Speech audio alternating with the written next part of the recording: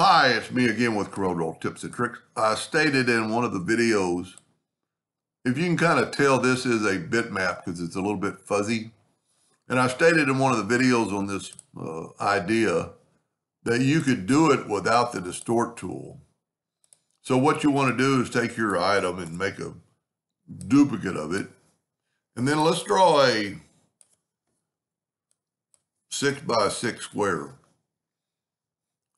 And then let's change our nudge factor with nothing selected to six inches. Now let's take this item and grab it right in the center and have it snap to that node. And you could, I could actually make it a smaller box, but I'm gonna hit the plus key and move it over, plus key and move it down, plus key, and I'm just using my arrow keys. Now let's take our box and move it out of the way and select these four items and go up to object and group and group them together and then put our box back. And then, so this is a vector. It's good and clean, sharp line. Now we can select everything and go right here to intersect. And what that did, that intersected those items. We'll just move this out of the way. And like I said, I could have used a smaller box and been closer. So I'm going to go here and put P and put that in the center of the page. So we have a six by six box.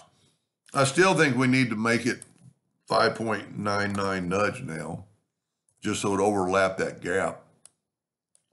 Let me move this over. And I'm going to hit the plus key and move it over, and then Control D, Control D, Control D. Then I'm going to grab all that and hit the plus key and then go Control D, Control D. So you've created the exact same thing.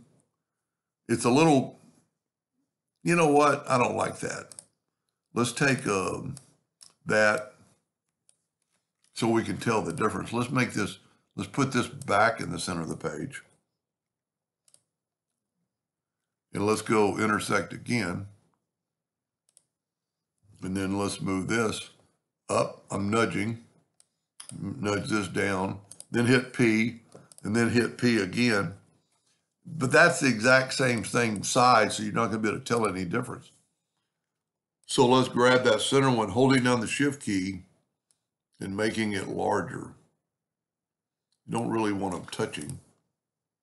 Now group this together, Control G. Our nudge factor is still set on 5.9. Let's move it over. Control D and move it over.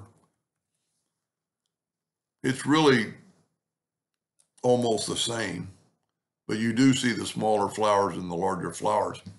Let's do it one more, one more better. Let's back up here where we didn't have it intersected. And let's take our, take our box and let's nudge it over. Let's make it a four inch box. Now we'll have to do the same thing. Let's put this, I've got to ungroup these. Let's put that using the X. You know what, that might be too small. Plus key, we need to change it to four inches. Nudge that over. Then you could actually grab both these, make a duplicate and nudge these over. Now, when you intersect something like this, the box has to be on top.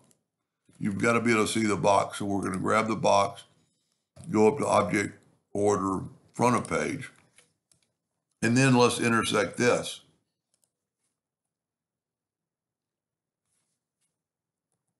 Well, I must not have grabbed the whole box. I must not have grabbed all the flowers. Oh, I didn't group them together.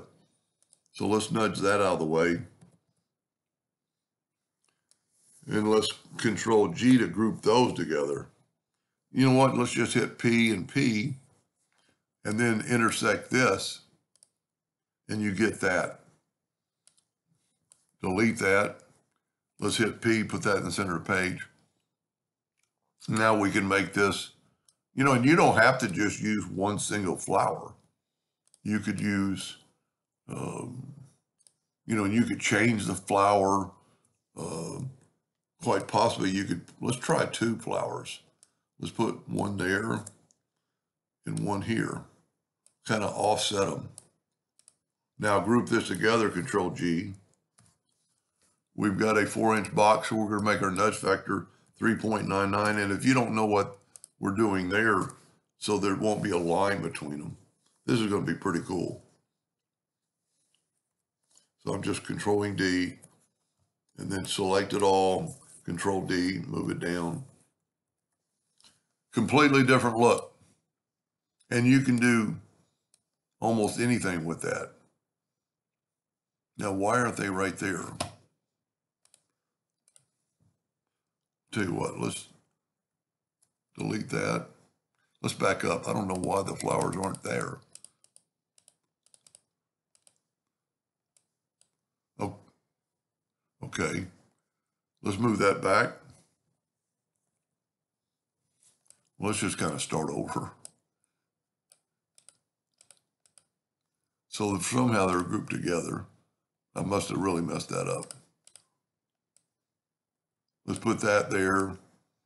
Put that like offset. And let's just throw another uh, curve into it.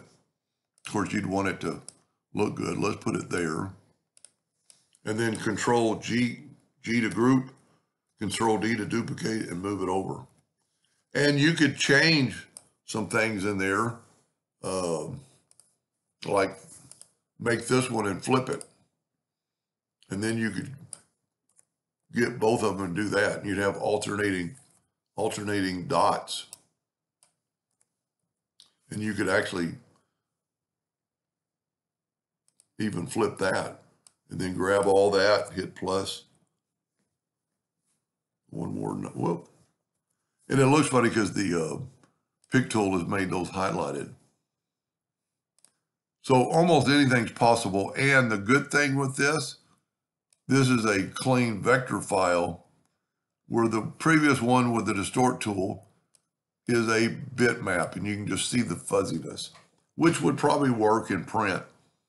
So this is more like an endless pattern with a little bit of twist to it. Anyway, hope that helped a little bit. Thank you for watching.